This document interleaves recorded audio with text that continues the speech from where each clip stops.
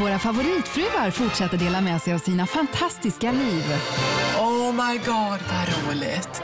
You are absolutely beautiful. Breathtaking. Inte för att skryta. Jag är en sån där mamma som är... Jag vet inte vad jag ska säga. Jag är nog nästan allt. Det tog mig också 20 år, men nu är jag här. Missa inte finalen av Så blev vi svenska Hollywoodfruar tisdag 21.00 på TV3.